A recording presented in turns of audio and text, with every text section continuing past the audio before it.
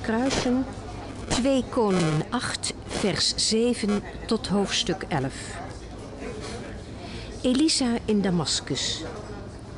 Op een keer kwam Elisa naar Damascus, juist toen koning Ben-Hadad van Aram ziek was. Men vertelde de koning dat de godsman was gekomen. En de koning droeg Hazael op.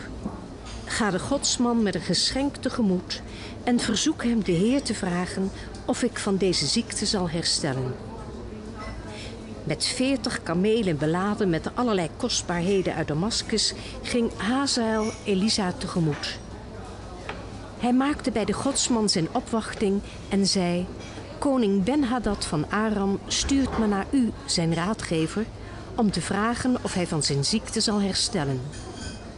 Elisa antwoordde: U kunt tegen de koning zeggen dat hij vast en zeker zal herstellen. Maar mij heeft de Heer laten weten dat de koning zal sterven. De godsman keek Hazael lange tijd strak aan en barstte toen in tranen uit. Waarom huilt u, mijn heer? vroeg Hazael. En Elisa antwoordde: Omdat ik weet welke ellende u de Israëlieten zult aandoen. U zult hun versterkte steden in de as leggen, hun jonge mannen aan uw zwaard rijgen, hun kinderen de schedel inslaan en hun zwangere vrouwen de buik openrijten. Hazael wierp tegen: Maar heer, hoe zou een nietswaardige hond als ik tot zulke indrukwekkende daden in staat zijn?